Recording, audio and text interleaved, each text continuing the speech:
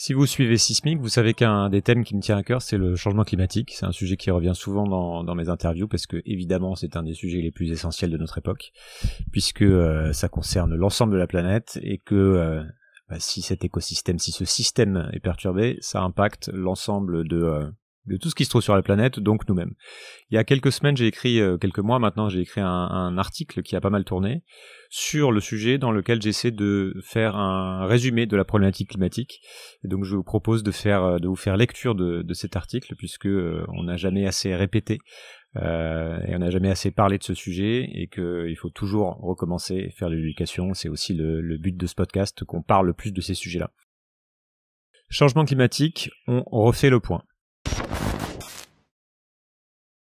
Puisque nous sommes amenés à entendre euh, de plus en plus parler du sujet, je propose ici une synthèse de ce qui se dit et de ce que l'on sait sur la problématique du dérèglement climatique. Je trouve en effet que la confusion est grande dans les discours médiatiques et politiques actuels, ce qui empêche le débat d'avancer correctement.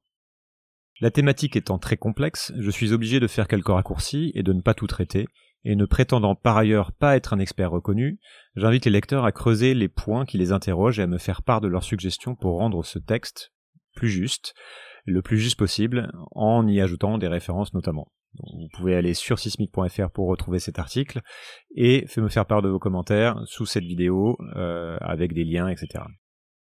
Par ailleurs, l'idée étant de simplifier autant que possible, je me concentre volontairement sur certains aspects du problème uniquement, mais le sujet restant complexe, restez bien concentrés. Le diagnostic. Ce que les experts scientifiques, au travers du GIEC, organisme référent au niveau international, nous disent. La planète se réchauffe dans sa globalité. Toutes les régions ne se réchauffent pas de la même manière selon le type de climat. Il y a des différences entre la mer et la Terre, par exemple, une accélération au niveau des, pôles. Mais en moyenne, nous sommes déjà à plus 1,2 degrés par rapport aux températures pré-industrielles. Nota bene, la dernière fois que la température sur Terre était à ce niveau, c'était il y a environ 125 000 ans. Et non pas il y a 1000 ou 2000 ans, comme l'entend parfois, euh, ce qui correspond à l'optimum médiéval et qui n'était pas ces températures-là. Ce réchauffement est lié au renforcement de l'effet de serre, du fait de l'augmentation dans l'atmosphère de la quantité des fameux gaz à effet de serre qui proviennent des activités humaines, essentiellement du gaz carbonique, du CO2, mais pas que.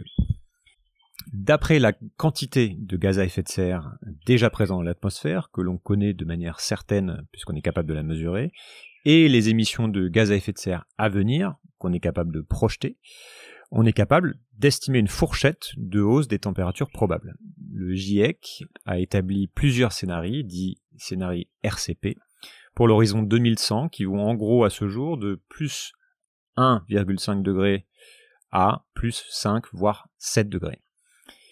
À noter que ces prévisions sont évidemment remises à jour régulièrement, mais que ça va toujours dans le sens d'un réchauffement de plus, de plus en plus important à chaque fois qu'elles sont revues. Un autre point est que le réchauffement de 1,5 degré aura des conséquences énormes, dramatiques sur l'ensemble des écosystèmes vivants et sur les conditions de vie des humains. Et plus ça se réchauffe, plus c'est grave. Donc, intuitivement, on pourrait penser que quelques degrés de plus, c'est pas bien grave. Et en fait, la réalité est évidemment beaucoup plus complexe que ça, et elle est tout autre. D'une part, comme c'est une moyenne dont on parle, il faut prendre le temps de regarder comment sont amenés à évoluer les différents climats localement. Certaines régions deviennent beaucoup plus sèches, d'autres subissent des pluies torrentielles, d'autres voient euh, les ouragans se multiplier, euh, des États euh, disparaissent si la mer monte de quelques centimètres de plus, d'autres voient fondre les glaciers dont dépend leur approvisionnement en, eau. Et en France, nous avons une idée assez précise de ce qui est à prévoir, puisqu'il y a notamment un rapport du Sénat dont vous pourrez retrouver le lien euh, qui, euh, qui traite du sujet, et nous sommes en fait bien plus exposés aux risques climatiques que ce qu'on veut bien imaginer. Par exemple, l'effondrement des, des, rendements agricoles n'est absolument pas anodin, et euh, je parle pas juste de la probable disparition du vignoble bordelais. D'autre part, c'est l'ensemble d'un système très complexe qui se trouve déstabilisé, avec pour effet de modifier les courants marins, de modifier l'acidité des océans, euh, les routes et la puissance des cyclones, l'intensité et la fréquence des pluies, etc. Je vais vous mettre des petits schémas euh, que vous retrouverez pareil dans l'article qui, euh, qui viennent illustrer le propos. Depuis la, la fameuse COP 21, qui s'est déroulée à Paris en 2015, tous les États se sont mis d'accord sur ce diagnostic, ce qui était une grande première, de manière consensuelle, et sur le sérieux et l'ampleur des risques, et ont déclaré à l'unanimité qu'il était urgent d'agir. Donc le sujet est enfin largement reconnu par la communauté internationale comme un enjeu majeur du siècle. Quel est le défi? Diminuer les émissions. Donc à Paris, on s'est fixé pour objectif de limiter le réchauffement à plus 1,5 degré et au pire, maintenant, d'ailleurs on parle beaucoup plus de ça, à 2 degrés. Puisque ce sont les gaz à effet de serre qui provoquent ce réchauffement, l'objectif est ainsi de ne pas dépasser un seuil de concentration dans l'atmosphère. Et comme on connaît la quantité de gaz à effet de serre déjà émise, on connaît la quantité que l'on peut encore s'autoriser à émettre. Cette quantité s'appelle le budget carbone, autrement dit ce qu'on estime pouvoir encore dépenser. Et elle est calculée, ce budget est calculé en gigatonnes de CO2. Concrètement, pour espérer rester sous 2 degrés, puisque beaucoup pensent en fait déjà que la bataille des 1,5 degrés est déjà perdue, l'humanité doit limiter ses émissions à 650 gigatonnes de CO2, environ entre aujourd'hui et pour toujours, puisqu'en fait on ne s'est pas encore retiré du gaz à effet de serre en grande quantité, et il est très hypothétique d'ailleurs de penser que on va arriver à le faire dans les prochaines années. Donc au rythme d'émissions actuelles, il ne faudrait que 16 ans pour dépenser ce crédit. 16 ans. Donc c'est donc une véritable course contre la montre qui se joue. Et comme on ne veut pas avoir à tout arrêter du jour au lendemain, et que de toute façon on ne le pourrait pas, l'objectif fixé est de progressivement diminuer ces émissions. Donc concrètement, si l'on veut une descente douce, cela veut dire diminuer chaque année les émissions mondiales de 5%, dès maintenant, dès l'année prochaine, dès maintenant. Et puisque notre budget ne bouge pas, plus on attend pour amorcer la descente, plus la pente de descente sera rude. C'est ce que montrent ces schémas-là. Où en est-on? Chaque pays a présenté un plan de réduction pour participer à l'effort global. Mais si en fait on met tous les plans ensemble, on n'y arrive pas et on va tout droit vers un monde à plus de 2,5 degrés de température au moins. Et si on observe ce qui est mis en place concrètement pour le moment, la plupart des plans n'ayant pas été mis en œuvre, on va tout droit vers plus 3 degrés de hausse, voire plus. Donc dans les faits, nous sommes très loin de l'objectif de réduction de 5% par an. Et quand bien même on note une stabilisation des émissions, puisque en 2019, donc avant le Covid, nous étions à plus 0,6%, voire un, on note un léger déclin à certains endroits en Union européenne, dans l'Union européenne et aux États-Unis, il faut, il faut se rappeler la nature globale du phénomène. C'est là aussi toute la difficulté. Quand bien même un pays serait un très bon élève, ce qui n'est pas le cas de la France, je le précise, et parviendrait à atteindre la, neutralité carbone, c'est bien la totalité des émissions mondiales qu'il faut prendre en compte.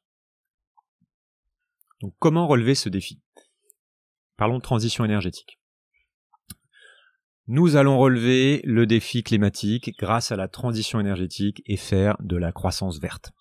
Donc voilà ce qui nous est généralement proposé aujourd'hui par les hommes et les femmes politiques, en France comme partout ailleurs. Donc Concrètement, on continue de se référer au PIB comme indicateur maître de la mesure du progrès, et on vise donc la croissance économique. Et grâce à la mise en place des énergies dites vertes, et à diverses mesures d'optimisation énergétique, pour simplifier, nous allons pouvoir croître et en même temps réduire nos émissions. Alors pourquoi? C'est beaucoup plus compliqué que ça. Reprenons. Donc il faut dès demain émettre beaucoup moins de gaz à effet de serre, je le répète moins 5% par an, à l'échelle mondiale. Ces gaz à effet de serre humains proviennent de différents types de sources, mais pour faire court, ils viennent essentiellement des combustibles fossiles, c'est-à-dire le gaz, le pétrole, le charbon, combustibles que l'on brûle. Ces fossiles représentent aujourd'hui environ 80% de l'énergie consommée dans le monde par les humains, directement ou indirectement, par exemple sous forme d'électricité. Le mix énergétique varie évidemment selon les pays, mais on reste partout largement dépendant de ces sources pour faire tourner nos sociétés et nos économies. Ce schéma-là illustre ça pour la France. Je ne sais pas si vous voyez très bien, mais encore une fois, vous pouvez retrouver tout ça sur le site. La promesse qui nous est faite avec cette transition énergétique, c'est de remplacer ces énergies fossiles par autre chose de moins polluant, afin de diminuer nos émissions de CO2 en absolu, puisque c'est bien cela qu'il faut faire. Pour ce faire, nous avons à notre disposition des énergies dites de substitution. moins émettrices. À noter que ces énergies doivent être transformées au préalable en électricité. L'éolien, le solaire, l'hydraulique sont les principales euh, sources d'énergie dont on parle. À celle-ci, il faut ajouter le nucléaire, qui pour rappel est une source d'énergie non émettrice de gaz à effet de serre. Le nucléaire pose certainement d'autres problèmes, mais pour ce qui est de la lutte contre le réchauffement climatique, ça rentre dans les énergies qui sont intéressantes. Ces énergies en comptent aujourd'hui pour environ 5 à 10% du mix énergétique mondial, entre 2 et 4% de plus si on rajoute le nucléaire. Encore une fois, vous pouvez retrouver les sources. Donc regardons maintenant les prévisions pour l'énergie primaire, c'est-à-dire directement extraite de la nature. Quelles sont ces prévisions pour 2040 en fait, on voit que tout augmente. Il en ressort que même en tablant sur une très forte augmentation, une très forte accélération du développement de, ces énergies de substitution, ce qui est loin d'être un problème puisque le terme propre et renouvelable sont abusifs, puisqu'en fait, on parle de mines de métaux rares, d'impact sur les sols, de euh, faire de la place pour les panneaux solaires en découpant des forêts, du défi du stockage de l'électricité, évidemment, de la maintenance. Euh, et je vous mets en lien un, documentaire très intéressant sur le sujet, sur ces fameuses énergies propres. Quand on met tout ça en perspective, on constate deux choses. C'est que d'abord, nous serons toujours largement dépendants des énergies fossiles, quand bien même on accélère à fond sur le développement de ces énergies renouvelables, et par ailleurs, que nous en consommerons en absolu toujours plus. En fait, il se passe ce qui s'est toujours passé dans l'histoire, c'est-à-dire que les nouvelles sources d'énergie ne se substituent pas aux anciennes, elles s'additionnent, elles se cumulent. Par exemple, à l'échelle mondiale, le pétrole n'a jamais remplacé le charbon. Nous n'avons jamais autant brûlé de charbon qu'aujourd'hui, et a priori, nous ne sommes pas prêts d'arrêter, puisque nous continuons d'ouvrir d'autres centrales à charbon, notamment en Chine.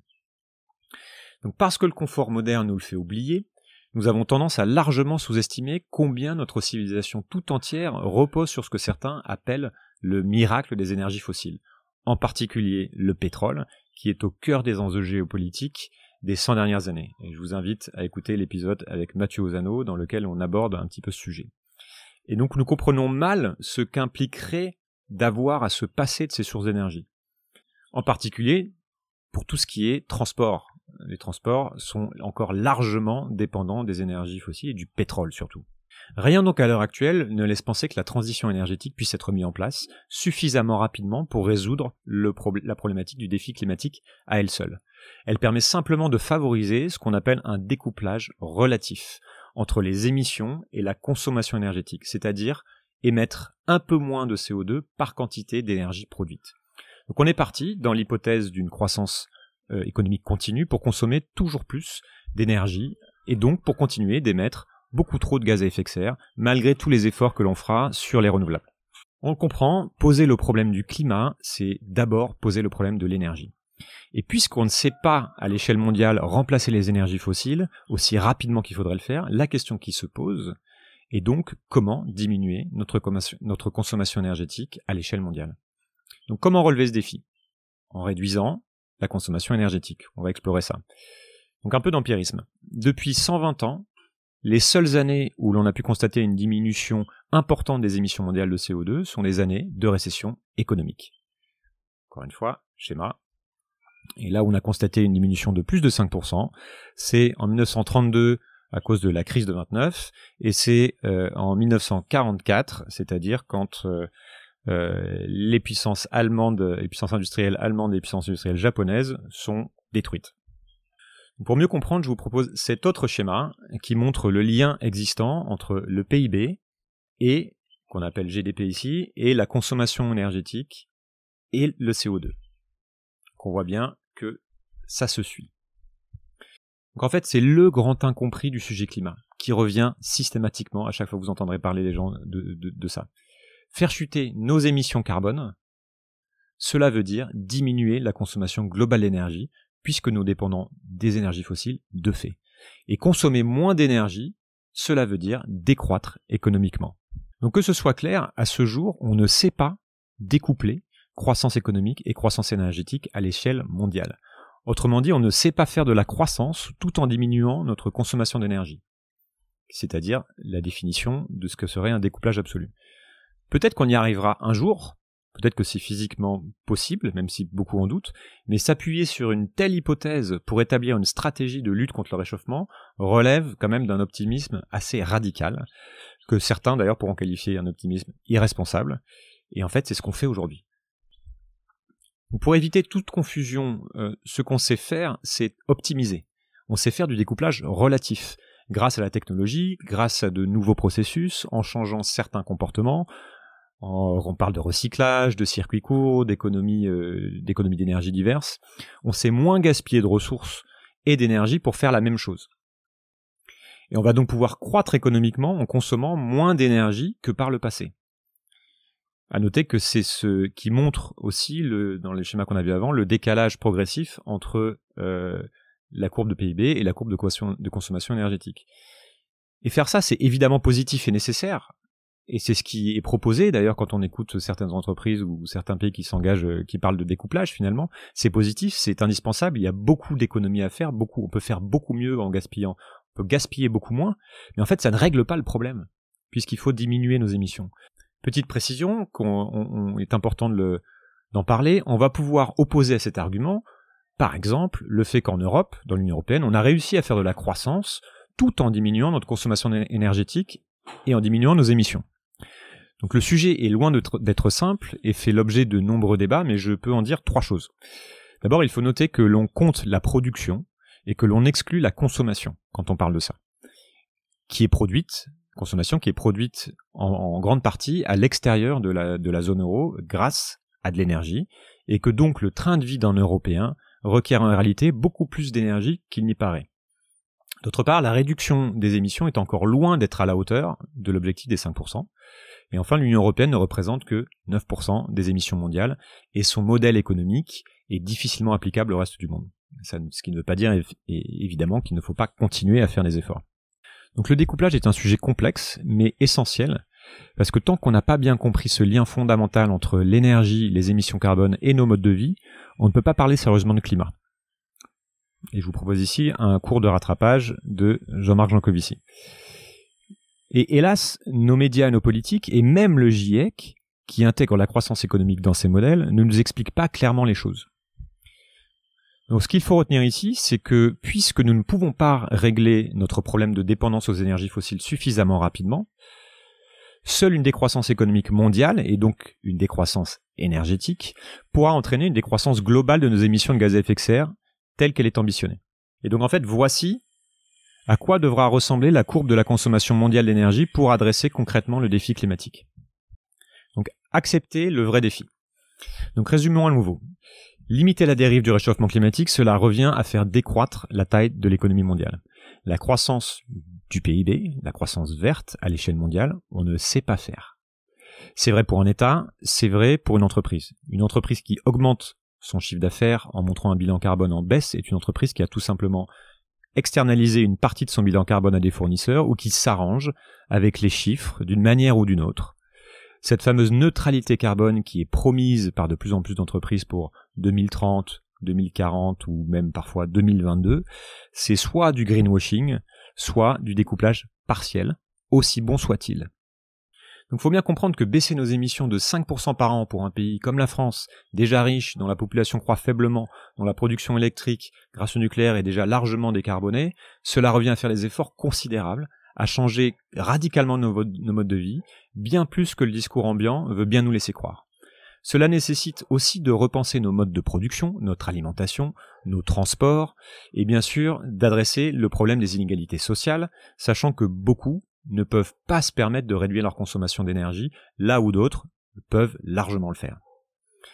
Il est à noter que plus on est riche, plus on consomme d'énergie, plus on pollue, et donc si on souhaite aussi que certains pays pauvres puissent continuer à se développer, il faudrait imaginer un effort encore plus important de la part des pays riches. Donc on voit bien comment tout ça est en fait très interconnecté. En vérité, du fait de, la pandémie de Covid, nous avons en ce moment une illustration très claire de ce que représente une réduction drastique de nos émissions telle qu'elle serait nécessaire. Il est prévu cette année que nous émettions dans le monde environ 6% de moins que l'an dernier. Sauf qu'en fait, il faudrait faire la même chose tous les ans, et non pas parler de reprise ou de rebond. faire ça l'année prochaine, et ensuite pendant les 30 prochaines années. Et on voit bien ce que ça implique de manière très concrète pour l'économie mondiale et nos vies au quotidien, puisque c'est ce qu'on vit cette année. Et en particulier, évidemment, pour ceux qui sont euh, en bas de l'échelle et qui peuvent, comme je l'ai dit précédemment, difficilement décroître leur consommation. Donc le défi est en fait bien plus important dans les faits que ce qu'on veut bien en dire la plupart du temps. Et je ne parle ici donc que, de la problématique climatique, essentiellement donc sous l'angle énergétique et en omettant volontairement par exemple le sujet de l'agriculture dans lequel je ne peux pas aller en détail. Et quand bien même, il faut garder en tête aussi que l'ensemble des limites planétaires est en train d'être franchi. On ne peut pas parler de tout dans une seule vidéo. Donc les rustines ne fonctionneront pas. Il s'agit de réduire considérablement notre impact sur le monde, nos externalités, comme certains les appellent, et c'est une chose qu'aujourd'hui nous ne savons pas faire à grande échelle de manière volontaire, car toutes les civilisations modernes reposent sur l'exploitation de ressources qu'il faudrait maintenant et très rapidement cesser d'utiliser. Donc les implications sont évidemment immenses. Est-ce qu'on a vraiment la main? Le fait est qu'à l'heure actuelle nous continuons à ne rien changer, ou alors marginalement, localement, sans que cela n'amorce une inversion de la trajectoire mondiale. De plus en plus nombreux sont ceux qui pensent qu'il est trop tard pour espérer sous les 2 degrés, comme j'ai déjà dit, et je ne détaille pas ici les notions euh, essentielles à explorer, qu'est-ce que sont le, par exemple le paradoxe de Gévon, l'inertie climatique, euh, la notion de point de bascule, de boucle de rétroaction, qui peuvent nous laisser penser qu'en fait, on a déjà perdu la main sur ce dérèglement climatique.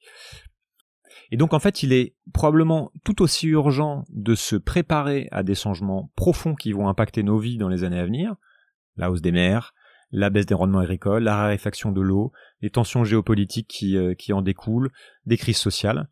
Et en plus de lutte pour limiter le réchauffement, on parle ainsi de résistance, de résilience, de sobriété, de préparation au choc, d'anticipation des risques. Et ça se joue à l'échelle globale, à l'échelle d'un pays, d'une organisation, d'une commune et même d'un individu. Les structures de nos sociétés, de nos entreprises, de nos modèles économiques, de nos institutions, des règles du jeu international, ou encore certaines de nos croyances les plus profondes, sont autant d'obstacles à la mise en place d'un débat sérieux sur une décroissance économique organisée. Nos politiques sont pour l'essentiel guidées par l'indicateur maître qu'est le PIB, alors même que si l'on y regarde de plus près, cet indicateur est en fait assez flou et n'a pas vraiment de sens, en particulier dans les pays riches. Et qu'un débat visant à repenser en profondeur la création de valeur, la définition de ce qu'est le progrès, devient parfaitement indispensable. Et on voit que beaucoup de gens plantent sur le sujet et que les propositions sont nombreuses. Et ne sont pas forcément à balayer d'un revers de main comme c'est fait aujourd'hui. Quoi qu'on en dise, certains pensent que nous allons pourtant vers un monde en décroissance, qu'on le veuille ou non, vers une grande simplification, comme l'appelle le professeur Nate Hagens, dont vous pouvez retrouver l'interview ici. Et effectivement, penser une croissance infinie dans un monde fini demande beaucoup d'imagination. Cette année, c'est un virus qui nous bouscule. Demain, ce serait autre chose. L'éclatement de la bulle financière, diminution des ressources en pétrole, en sachant qu'on a passé le pic pétrolier, changement climatique déstabilisant les infrastructures économiques, considérés, changements qui sont, risques d'ailleurs qui sont considérés maintenant euh, comme des risques majeurs si on regarde même le Global Risk Report du World Economic Forum, du Forum mondial. Mais en fait, la plupart des décideurs continuent de parier sur le fait que la croissance va revenir pour de bon et que nous pourrons profiter de notre monde d'abondance encore quelques années. Peut-être. Personne ne sait dire, en fait, euh, combien d'années nous avons encore, pendant combien d'années nous pourrons continuer sur la tendance des décennies précédentes. Mais en fait, il faut bien se rendre compte d'une chose pour remettre cette idée en perspective. Si l'économie mondiale croît de 3% chaque année, comme c'est anticipé par de nombreux économistes avant le Covid, il ne faudra que 25 ans 25 ans pour consommer à peu près autant d'énergie et de ressources que l'humanité n'en a consommé depuis l'invention de l'agriculture il y a 11 000 ans. Donc, je vous laisse voir lequel de ces deux scénarios de croissance ou de décroissance est le plus crédible. Donc, et maintenant, qu'est-ce qu'on fait? Donc le tableau que je peins ici est évidemment très sombre, mais on ne peut hélas pas faire mentir les faits. Et pour autant que l'on puisse les nier, ils se rappellent tôt ou tard toujours à nous. Et c'est avec lucidité qu'il faut poser la question de l'avenir. Donc il est certainement trop tard pour euh, éviter un changement radical de notre environnement, mais le sujet en fait n'est pas binaire. Plus de degrés, ce n'est pas pareil que plus 3 degrés, et chaque effort compte. Et la question majeure de la transition modèle de société se pose de manière pressante. Beaucoup se sont déjà emparés de cette question et anticipent le fait qu'elle deviendra bientôt centrale et en amènera d'autres. Comment définir de nouveaux indicateurs de progrès pouvant nous guider plus efficacement? Comment mieux répartir les richesses existantes et à venir? Que faire pour préparer les infrastructures, l'agriculture, les institutions et les individus au monde qui vient? Comment gérer une transition la plus juste et la plus douce possible dans un monde qui est amené à se tendre chaque jour un peu plus? Comment maintenir la paix, la sécurité et la cohésion sociale Il ne s'agit pas en fait de prévoir l'effondrement général de notre monde, mais bien de travailler à mettre en place de nouvelles stratégies véritablement adaptées à un contexte qui est en train d'évoluer comme jamais auparavant. Donc je m'arrête ici sur euh, ce constat froid de ce qu'est le défi climatique et le défi énergétique qui va avec, tel que je le comprends. Je vous invite évidemment à creuser ces informations, à les contester, à les vérifier, à les croiser, à les préciser, à faire le lien avec tout ce que vous avez en tête.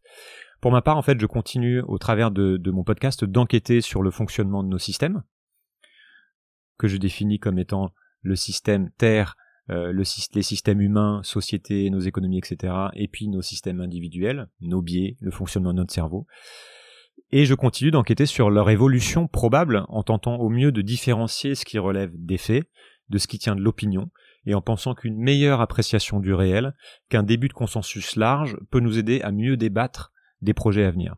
J'essaie aussi de savoir quoi faire de tout ça à titre personnel, et évidemment c'est pas simple. Pour finir, ma conviction du moment est que notre plus grand défi est d'abord de recommencer à mieux écouter à mieux dialoguer, à sortir d'une forme de pensée magique ou une pensée simpliste, euh, afin d'espérer pouvoir reconstruire avant tout une forme de consensus qui est indispensable à l'action collective. Voilà, j'espère que cette, euh, vidéo vous a plu. Euh, j'espère que vous y avez trouvé des choses intéressantes et pourquoi pas appris certaines, choses nouvelles. Diffusez-la, partagez-la à vos amis, à, votre famille, aux gens autour de vous qui pourraient en bénéficier pour que pour qu'on débatte de tout ça le plus possible. Abonnez-vous à la chaîne, abonnez-vous surtout au, podcast sur vos plateformes préférées, et puis euh, vous pouvez retrouver cet article sur sismic.fr. Merci beaucoup pour votre écoute, et à bientôt.